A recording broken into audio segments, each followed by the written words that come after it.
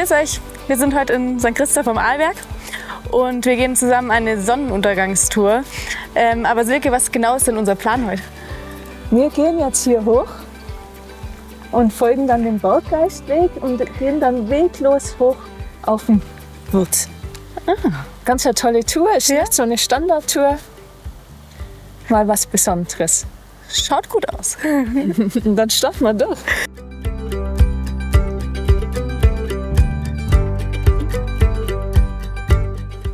Was findet man denn hier für Pflanzen?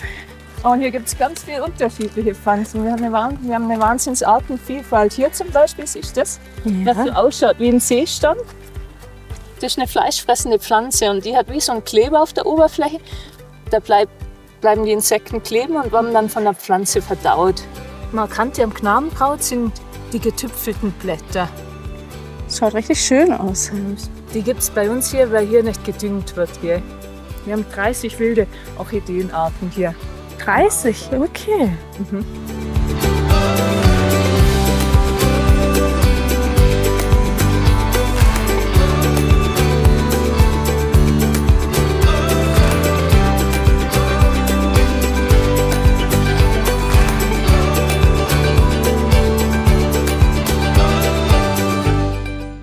Ich habe schon öfter gehört, dass der Arlberg gar kein Berg ist. Äh, woher genau kommt denn eigentlich der Name?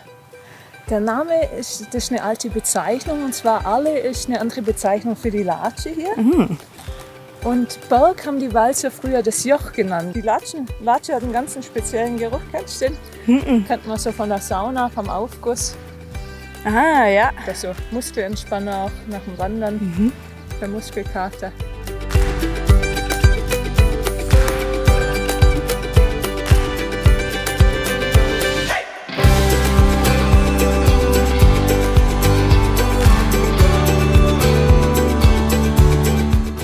Ja, da oben ist unser Ziel.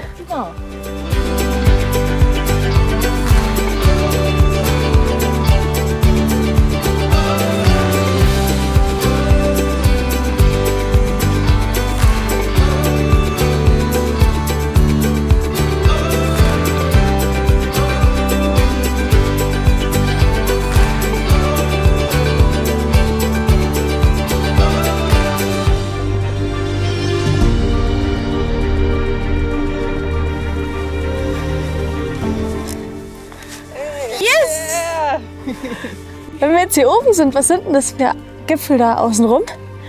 Hinten haben wir der Hohe Riffler mit 3,1 der höchste hier eigentlich. Mhm. Dann Zwölferkopf, Gammenberg. Dann haben wir die Sulzspitz, Kuchenspitz, Patriol.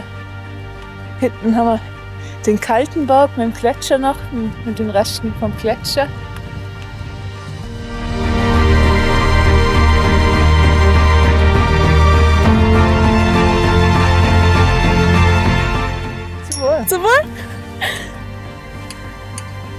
Mit dieser wunderschönen Aussicht nach St. Anton und dem wunderschönen Sonnenuntergang verabschieden wir uns nun vom St. Christopher Hausberg, der Wirt. Und würden uns freuen, euch hier in St. Anton am Arlberg begrüßen zu dürfen.